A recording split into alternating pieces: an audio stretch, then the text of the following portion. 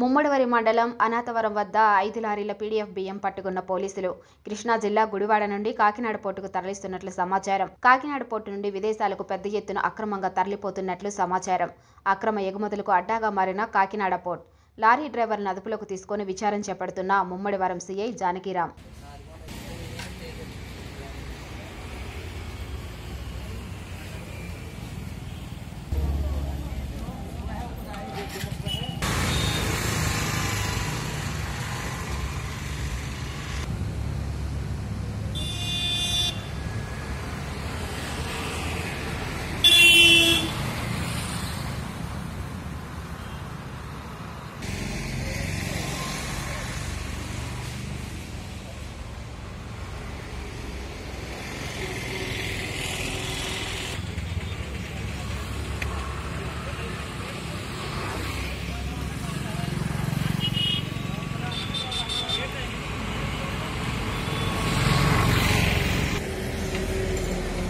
వంద రూపాయలు చెప్పి నువ్వు వచ్చుకుంటే పదివేలు వస్తుంది ఏమన్నా ఇంకో బతకం